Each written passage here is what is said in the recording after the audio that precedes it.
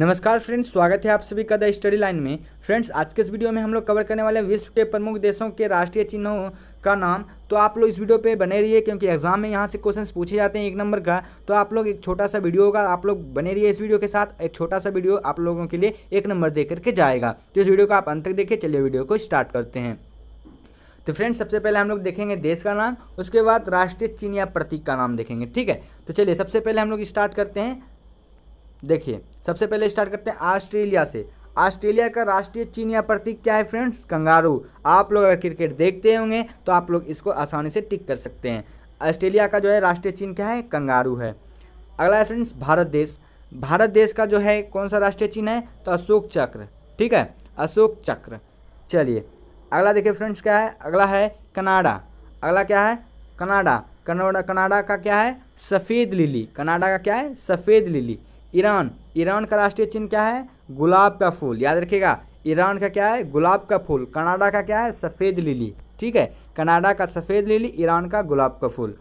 अगला है फ्रेंड्स, पाकिस्तान। तो पाकिस्तान का आप लोग झंडा तो हमेशा देखे होंगे फ्रेंड्स। पाकिस्तान का है चाँद तारा।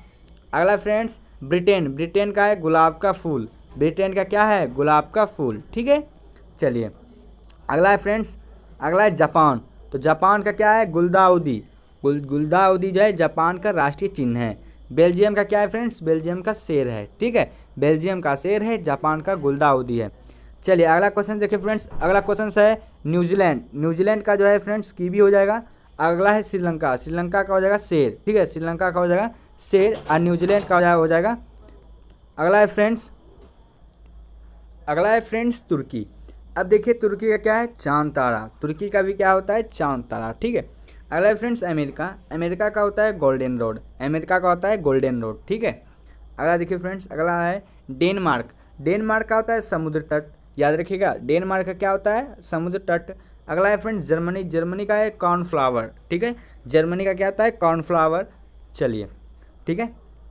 अगला देखिए फ्रेंड्स, अगला है इटली। इटली का क्या होता है फ्रेंड्स? इटली का होता है सफ़ेद लीली। इटली का सफ़ेद लीली, ठीक है? स्पेन का क्या होता है? एक उकाव पक्षी। स्पेन का उकाव पक्षी, ठीक है?